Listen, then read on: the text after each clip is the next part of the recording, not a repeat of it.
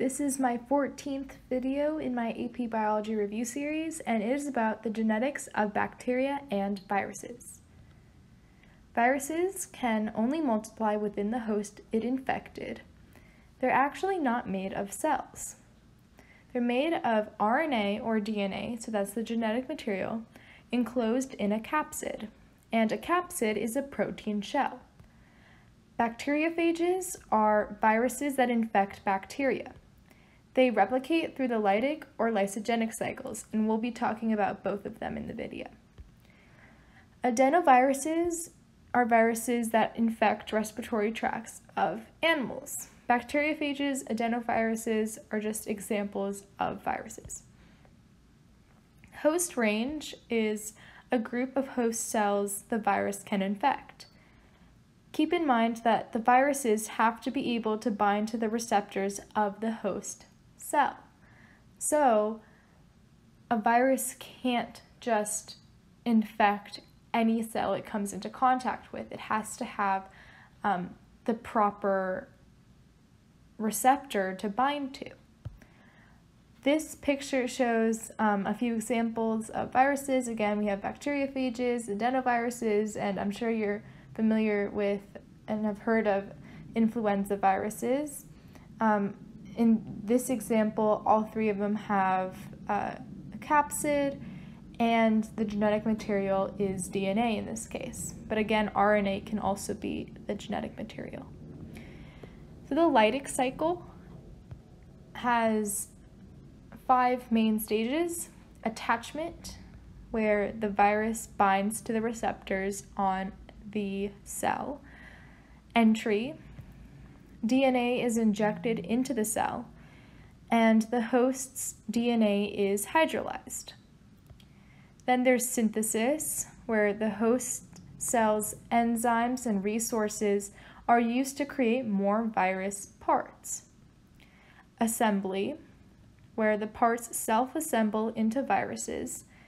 And then release, the cell swells and bursts, and that's a lot of times it's called lysis the um, bursting of the cell. And the viruses are released and will probably end up infecting another cell, and the cycle will continue. This picture shows um, each step of the cycle. Again, we have attachment, entry, synthesis, assembly, and release. There's also the lysogenic cycle, and certain factors will determine which cycle the phage enters, whether it's the lytic or lysogenic. Viruses replicate without destroying the host cell in the lysogenic cycle. Again, the virus will attach, inject DNA. The phage DNA is integrated into the host's DNA, and the combination of the both is called a prophage. The host cell will reproduce with the phage DNA in it. And there will be an environmental trigger that will cause the virus to return to the lytic cycle. So it's kind of scary because the virus has already replicated so much, and then all of a sudden something will trigger it, and all these cells will burst. So this picture shows the lysogenic cycle. Again, we have the injection of the DNA. However, in this case, it becomes part of the host um, cell's DNA. Again, then those cells will replicate um, with the virus DNA in it. And if something triggers it, we'll go back to the lytic cycle and the cells will burst. Reproduction of animal viruses. So the lytic and lysogenic cycles were for bacteriophages. Many have an outer membrane called the viral envelope. It has glycoproteins on it that will attach to receptors on the host cell. And parts of the viral envelope are actually made from the host membrane when the virus um, leaves the cell. Retroviruses are viruses that inject RNA into the host cell along with reverse transcriptase. Reverse transcriptase is an enzyme that transcribes RNA into DNA. So again, that's the opposite of transcription. DNA will be integrated into the host DNA, and that creates what's called the provirus.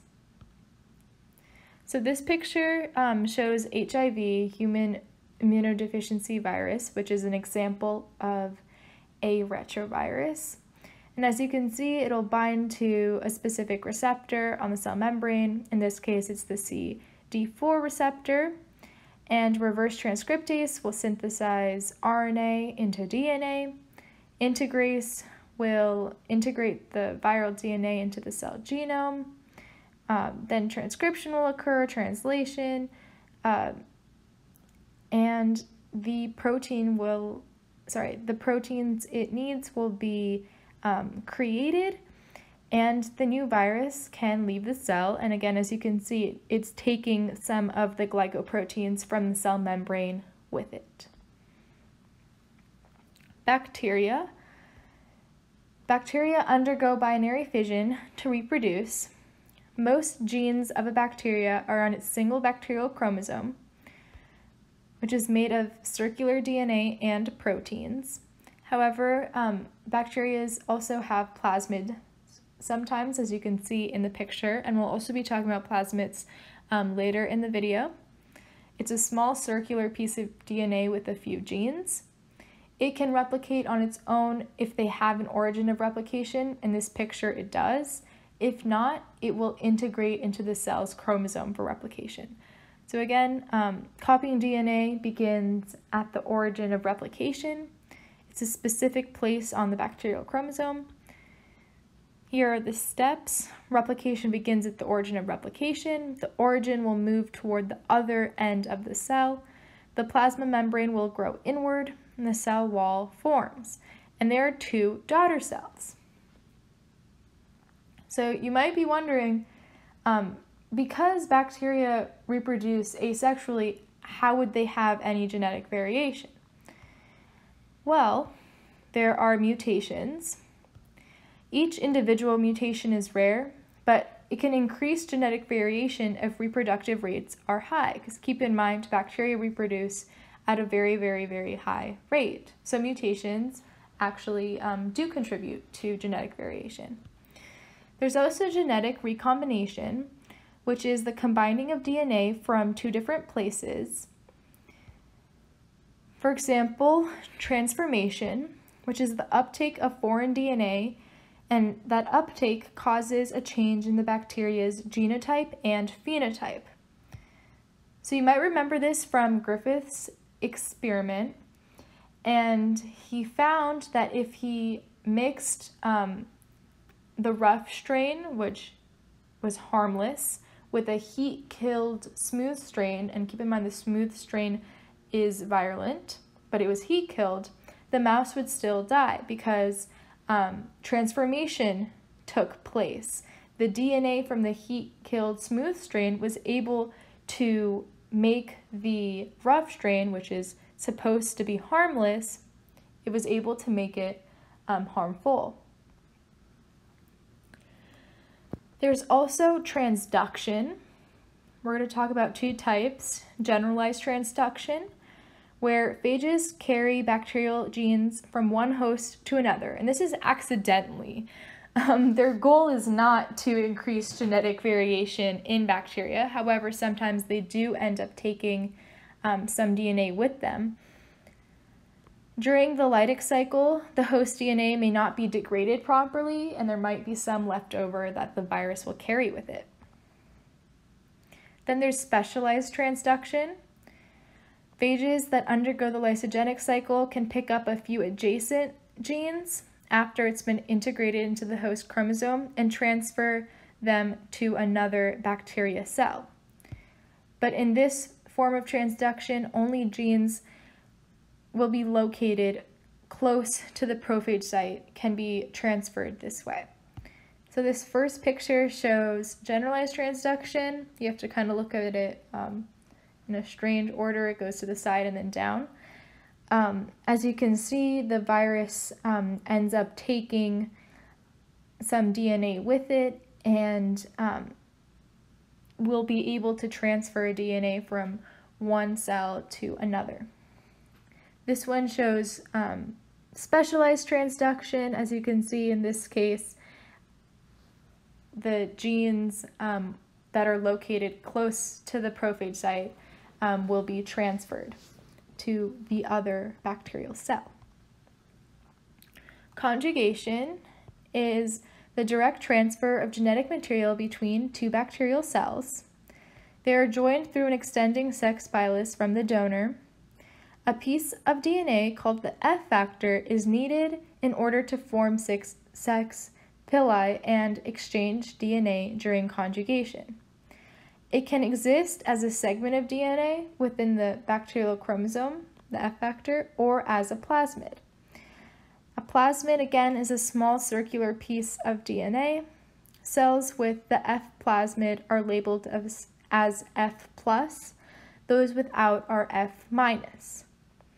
And the ones that are F plus will act as donors during conjugation.